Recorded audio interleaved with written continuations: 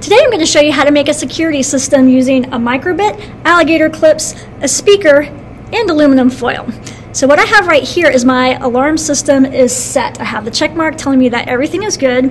I have aluminum foil connected to the microbit on pin 1 and going to the 3 volt, and then I have my speaker.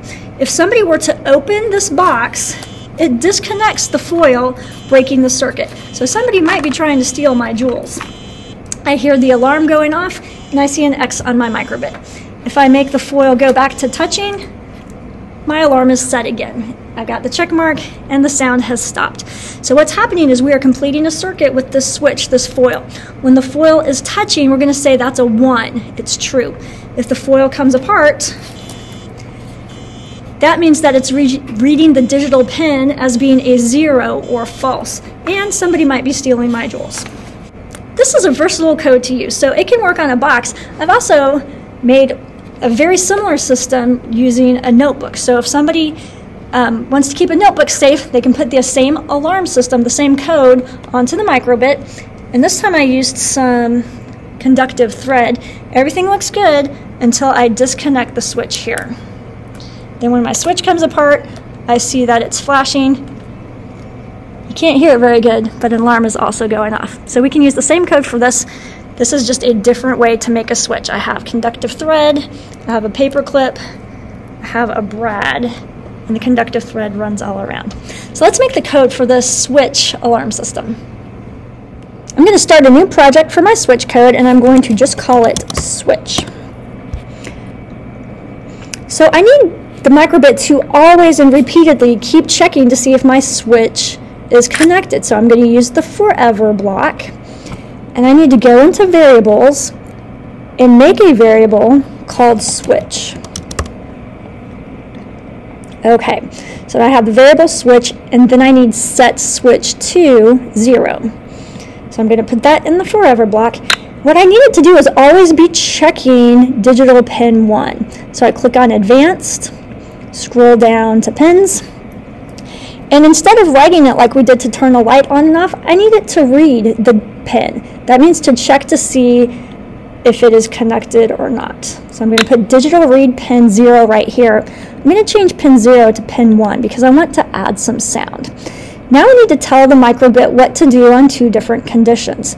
Go into logic and pull out if true then else. Snap that under set switch 2. We need to say if the switch is connected, if it's a 1, everything looks good. So go back into logic, pull out the comparison, 0 equals 0, go into variable, pull out switch.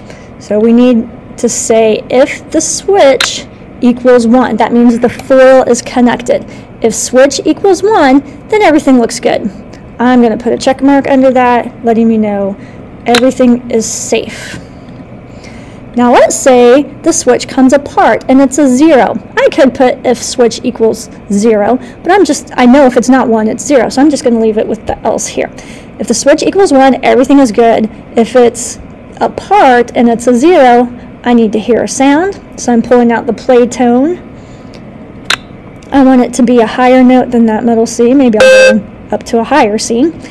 And I need a visual cue that not everything is good.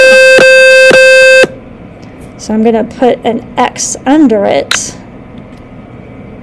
if my foil has come apart, and that means somebody has opened my box. All right, let's take a look at what happens on the simulator. When I run it, it starts off with my switch being apart. I can see that there's a zero on switch one. You can see that my speaker is connected to pin zero. If I click on the one here, it changes the 0 to a 1. That means my foil would be touching and I have the check mark. Okay, so 1 is the foil's touching, everything's good. If it comes apart, then I would have the alarm. And for whatever reason, I can't get it to come back apart. It starts off as 0, and I can change it to 1, but I can't change it back to 0. Okay, you can put whatever you want when it looks good. A heart, a smiley face, whatever. And when the switch comes apart right here, if it's a 0, you can make it play a song, you can make it play a note, you can show an X. We learned the other day how to flash lights, so you could do a digital write pen.